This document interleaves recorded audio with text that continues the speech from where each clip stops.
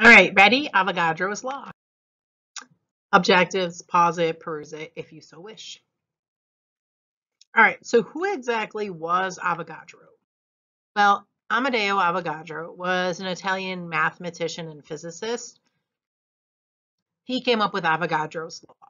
Interestingly, he did not discover Avogadro's number, which is 6.02 times 10 to the 23rd particles per mole, but it is named after him. What he did discover was Avogadro's law. So what is a mole? A mole is a counting unit, like a dozen. So you know a dozen means 12. But a mole is a counting unit that means the amount of a substance.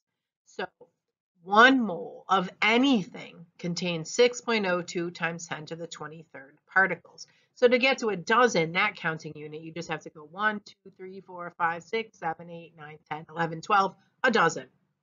Okay, to get to a mole, you'd have to keep counting 1, 2, 3, all the way to 6.02 times 10 to the 23rd. And then you'd say, that's a mole. So it's a big, big, big number. What is volume? Volume is the amount of space occupied by an object. So what exactly is Avogadro's law? We talked about Avogadro's number, which he didn't discover. He just got um, credit in terms of it was named after him.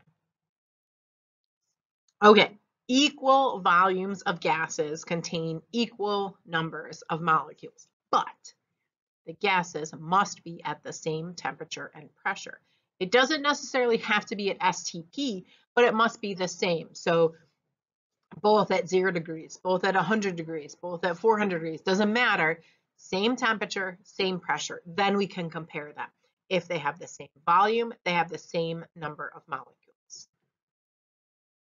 So this is Avogadro's law. If we have a liter of hydrogen and a liter of nitrogen and a liter of oxygen at the same temperature and pressure, when we have the same volume, we have the same number of molecules inside.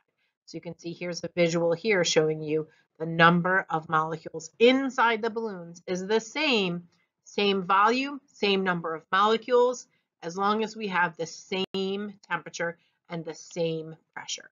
That is Avogadro's law. So equal volumes of a gas contains the same number of molecules as long as we have the same temperature and same pressure. So if we double the molecules, we double the volume. If we halve the molecules, we halve the volume. If we quadruple the particles, we quadruple the volume. Okay, that's Avogadro's law. So which two balloons here have the same volume? So remember, according to Avogadro's law, it means they have the same number of particles. So it would be those two balloons, same volume, same number of particles. Now, another piece of information. For one mole of a gas at STP, we know the volume. So if we have one mole of a gas and we have that gas at STP, automatically we know the volume. So remember, one mole is 6.02 times 10 to the 23rd particles. So if we have one mole, we have that many particles.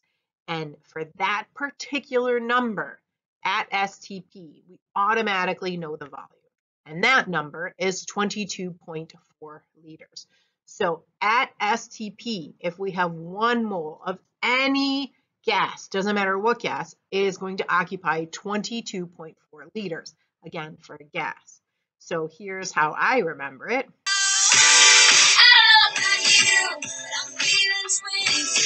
Point four. Okay, so one mole of any gas at STP occupies 0.4 liters.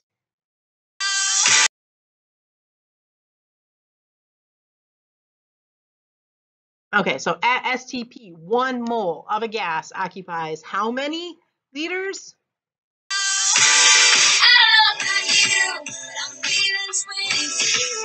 Point four, 22.4 liters. So what balloon has the same number of particles as 3.0 liters of nitrogen gas? So remember, same number of particles at the same temperature and pressure is related to the volume.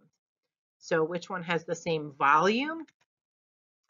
3.0 liters. And there you have it. There is Avogadro's law. I hope that you learned something new today.